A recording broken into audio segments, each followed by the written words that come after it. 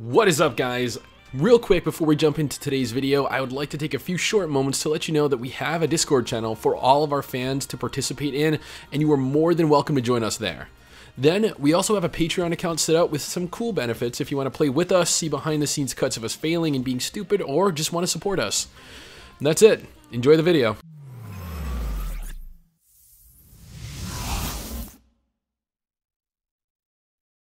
Greetings and salutations, my lovely little bytelings. My name is Wiggy, and all the way back in May of 2017, I made a video titled The Best Free-to-Play Anime MMORPGs to Play Right Now in 2017. 800,000 views, thousands of comments, and thousands of likes. Over the course of the year, my likes and dislikes in terms of MMORPGs have changed quite drastically. I recall listing games like MapleStory Twin Saga, as anime MMORPGs I thoroughly enjoyed, when in reality, I recall listing games like Maple Story and Twin Saga as anime MMORPGs I thoroughly enjoyed, when in reality, I believe those games no longer hold any semblance of relevancy. Stix did do a video on upcoming anime MMORPGs just last month titled 4 upcoming anime MMORPGs you absolutely need to play in 2018 and beyond beyond.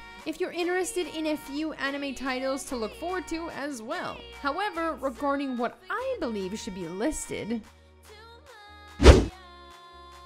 Phantasy Star Online 2 is by far the most complete anime MMORPG out currently. It has been out for years and therefore has some of the most extensive content you can find in an anime MMO. You're met with multiple classes and races, all completely fabricated and set in a sci-fi setting. This is rare in the MMORPG genre, and even rarer in the anime genre. I don't know a single other anime-inspired MMORPG to have a sci-fi setting outside of Phantasy Star Online 2. Now the reasons, now the reason I believe Phantasy Star Online 2 deserves to be in this list is because the game is fast-paced action packed and has the largest community in an anime MMO. It has over 10 servers and over 100 channels per server. Housing so many players, it's absolutely insane, especially for an anime title. Phantasy Star Online 2 has fast, highly customizable action combat, what I believe are some of the best characters and best character creator in an anime MMO, and actually has a story that leads you through the game. It's instance though, so if that's a problem for you, then you may not like it. Alright, so Pirate King Online, also known as Tales of Pirates Online, was shut down a few years ago by IGG. That was terrible news for Stix and I, as Tales of Pirates was our very first MMORPG. It is the game that got us into the entire genre. Without it, we wouldn't be here today, and you wouldn't be watching this video. However, in the wake of the destruction of the official servers, there rose multiple private servers to replace it three in specific actually. We've done a video on one of the private servers in the past, a short video of us playing again after so long, then Stix did multiple videos for a newer, better private server more recently. The reason being that both of us love the game immensely, it will forever hold a special place in our hearts. And it will forever hold a special place in our hearts. The game is click to move, tab target, and very dated. So if these are things that turn you off of a game, then I strongly suggest against it. If you're a huge fan of PvP, however, then I recommend jumping in as it's one of the PvP heaviest anime and MMORPGs out there. A lot of people don't know about Onigiri, and that's because it was never really advertised all that much. Which is a shame, as the game itself is very heavily anime inspired, being one of the closest games to an anime I've come across. Not visually. Visually, Onigiri is a good looking game as far as anime games go, but the feel of the game is very anime-esque. It has a lot of traditional anime tropes compiled into the plot and a lot of very specific character and a lot of very specific character archetypes that are traditionally found throughout anime series. The game has fast-paced action combat utilizing various weapon types to give you access to separate skills per weapon. The game itself, though, is semi-instanced. While the game makes use of instance dungeons along with the main quest hub to take quests from, the game world gives you access to open world areas as well, thus semi-instanced. Yes, yes, I'm aware this one is a mobile MMORPG. This isn't a list of best anime MMORPGs on PC, it's a best anime MMORPG video. Therefore, I plan on including the anime MMORPGs I believe should be listed on this list. Now, this is the only mobile MMORPG I'll actually list in this video as honestly, it's the only one I'd actually even attempt to play. It is one of the most unique MMORPGs I've ever played, having an incredibly unique combat system, beautiful anime graphics, and a very interactive story with memorable characters. Which is great considering story is important to us. Once again, the problem with this game is that it's on the mobile device. However, with a mobile emulator like the one Stix used to play it, you're capable of playing it right now on your PC. Anime list would be complete without Soul Worker. I know I list it in a lot of top lists, but that's because it's just so good, and it even has an official Western launch slated for the beginning of this year. Or if you don't want to wait, then you can go right ahead and jump on over to the official private server that completely translates the game into English. Which is pretty damn awesome if I do say so myself.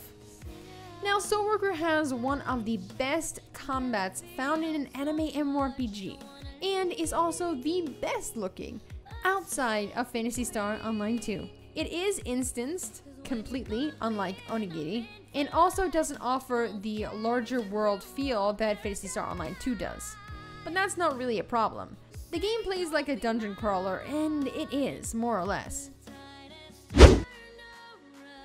Last time I neglected to include Elsword in a top list, people slammed us to hell. Elsword is the best anime MMORPG, was the overall general consensus. Which isn't entirely untrue.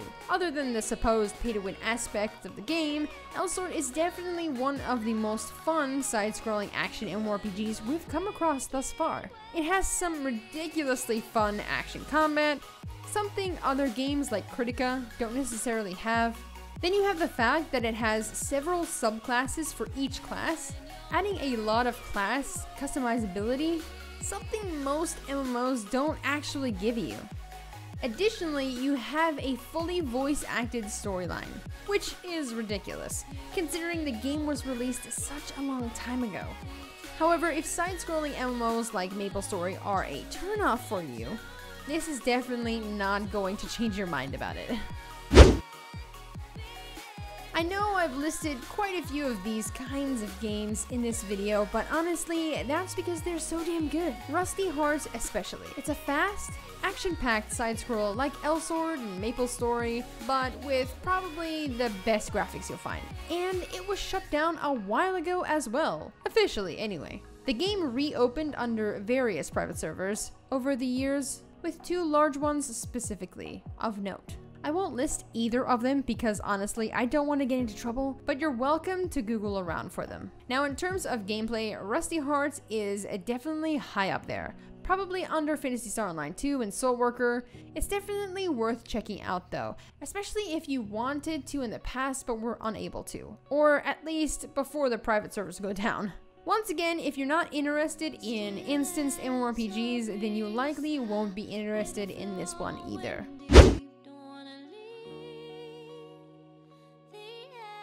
The most unique anime MMORPG out there. And probably one of the most unique MMORPGs overall. Mabinogi gives you the freedom over everything, pretty much. To do really anything at all. It's more or less a social MMORPG. You can completely disregard combat altogether and still find plenty to do, which isn't something you often come across in games. The only other one off the top of my head, I believe, that allows a modicum of the freedom Mabinogi does is Black Desert Online. Now, Mabinogi is a very dated game. Being decades old, okay, okay, maybe not decades, but at least over a decade old. And it definitely shows, especially with regards to the combat. It is probably one of the most slowest and most painful grinds I've ever experienced, but combat aside, it is one of the most interesting MMORPGs I've ever seen. It has instance zones, much like Blade and Soul or Guild Wars 2, as opposed to being open world like World of Warcraft or a sandbox like Black Desert. But Mabinogi's zones are huge and filled with content. You hardly even realize they're instanced, as it's just a loading screen to separate zones. Other than the combat and it feeling dated, there really aren't any other immediate problems with the game. I know some of you are going to hate on me for this one, but I really like it. And I know there are quite a few of you that like it as well. Now, sure, Tree of Savior has its problems. Every game does. Yet for all of its flaws, the game itself really shines through as an incredibly engaging sequel to one of the greatest MMORPGs of all time, Ragnarok Online. It is one of the few games left of its kind, and it handles the niche incredibly well. The combat is flashy, the graphics are beautiful and crisp, and the story is plenty filled with content. However, sprites aren't to everyone's liking, and I get that. Neither is the combat style or the world type, but I do highly recommend attempting the game out if you can find the time to. It is, after all, one of the only games of its kind left, and you'd be a fool not to try it out, at least once. Of the oldest games in this list, Flyff has somehow remained relevant in the anime niche for what seems like an eternity. Starting off the game again recently, the game still has a surprisingly active population of people, even if it only numbers in the thousands. Its combat is unfortunately tab target, but that's more or less what you could expect from all anime MMORPGs released before 2015. However, the fact that the game is largely open, has subclasses for each main class you choose, and a flight system that really makes the game stand out. What anime MMOs allow you to traverse the game through the air? More so, what anime MMO gives you aerial content to actually explore? Adding on to that, how many anime MMOs give you an extensive class system that has you choose a secondary class as you progress through your current class? Yeah, Flyff really deserves to still be alive. The only downside I see to this game is that it's still quite difficult and feels very dated as well. One of the most interesting anime MMORPGs out there is by far Digimon Masters Online. One of the reasons is because I'm a huge Digimon fan, and the other is that it utilizes a unique combat system. Sure, it's tab target, like every other anime MMO, but you fight by sending your Digimon partner out for you. Meaning your character, the one you control, isn't the character you fight with. Your Digimon is also capable of digivolving, giving you access to a stronger Digimon, and you're given the option of capturing and breeding an absolute huge amount of Digimon until you end up with the one you want, which gives you an absolute ton of things to do. The drawback to Digimon Masters Online, though, is that for a game released as recently as it was, the controls and gameplay feel very stiff and dated. But don't let that stop you from trying it out, it's definitely worth it. Now, this is my list of anime MMORPGs I believe you should potentially try in 2018. It is a follow-up to my very first anime MMORPG video released almost a year ago. The anime genre itself is dying. Stix did a personal Stix did a personal video addressing that, and I found that these are probably a handful of the only ones left worth playing. So I suggest getting in and trying them while you have the opportunity to. Either way, guys, thank you very much for sitting through this list. And as always, good day, night, or afternoon, wherever it is where you are. And I will be seeing you guys in the next video. Hope you find what you've been looking for. Mm -hmm. Trust me, I